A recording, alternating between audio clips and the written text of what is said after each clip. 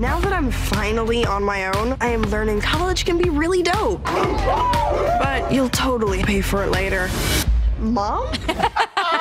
Okay, we all have a girl crush around here on Yara Shahidi. She shines so bright on Blackish. Now she has her own spinoff, Grownish. Okay, this 17 year old is poised to be a massive star. Mm-hmm. She's got talents, brains, charm, but how about her style? Oh, yeah. Our Style Star series continues with Yara, who we named our up and coming Style Star of the Year.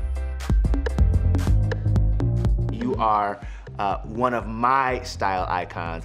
You are actually also one of Access Hollywood's Style Stars of the Year. Uh, I wanted to share that with you, and I want to share with you some looks, and I want you to, Oh. to walk me through these. Oh, goodness. We've we Pull pulled some looks. those looks are what earned Yara our up and coming Style Star honor. She's wise beyond her years, even when it comes to her wardrobe, thanks to her innate coolness and the work of her stylist, Jason Bolden.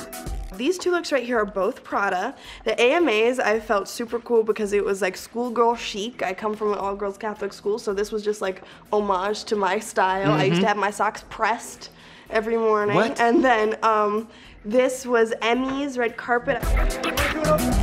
And it's kind of magic. But I think what was really cool is this was my first custom piece that I've ever worn. Um, it was a very big deal. I was on set shooting, and they were like, "The tailor flew in from Italy, and she's in your trailer." It was a surreal experience. This is actually again one of my you pulled all my favorites. Um, but this is one of my favorites. This was Zimmermann. Mm-hmm, Um, and I absolutely love this because I felt like Athena, the goddess of war, creativity, and wisdom.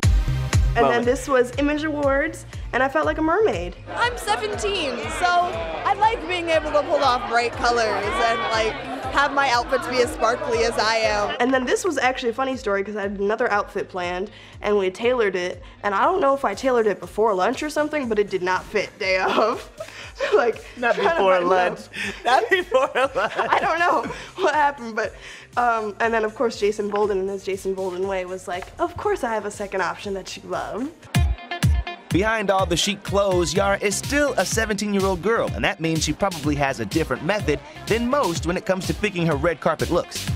What goes into your selecting the the look? I mean, is it is there always like one thing in particular that's a common thread, or My common thread that has been a common thread for a long time is I always do the robot. Like if you cannot robot in your clothes, they are either too tight, too loose, too short, or too long. One of the twos.